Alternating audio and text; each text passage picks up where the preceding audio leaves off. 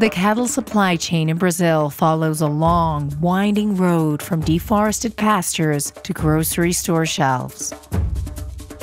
In the last 30 years, over 40 million hectares of forests were lost in the Brazilian Amazon, where nearly 40% of the country's cattle herds are located. Conserving what remains of the Amazon requires halting deforestation and working together to foster resilient and biodiverse ecosystems for all.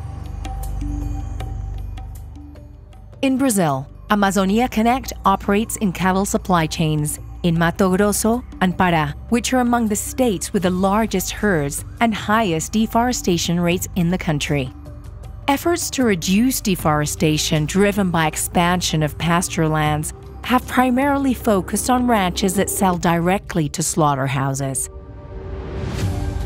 This neglects the fact that most cattle are often moved as they grow to fattening ranches prior to slaughter. Expanding monitoring one degree beyond the farms that sell cattle for slaughter is critical to making good on Brazil's commitment to eliminating illegal deforestation.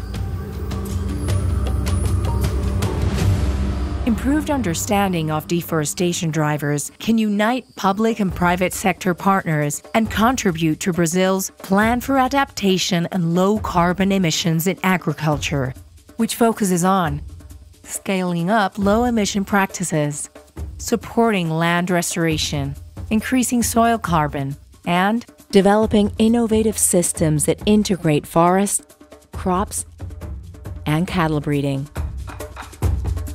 Amazonia Connect promotes low carbon practices on ranches to help farmers produce more on less land, reduce emissions, and increase farm income. These practices complement efforts by companies local governments, and producer associations to comply with federal agreements and responsible sourcing practices. Amazonia Connect enables this work by deploying advanced monitoring and traceability tools to minimize risks in cattle supply chains. Beyond improving cattle production, monitoring, and traceability, Amazonia Connect will work with local and regional government led efforts to reduce deforestation and land degradation, and link farmers with carbon markets to diversify their income. When we work to develop an in depth understanding of a supply chain, we can see the connections between the actors. That knowledge allows us to work towards improvements at each stage to support farming families, protect biodiversity, and advance climate action.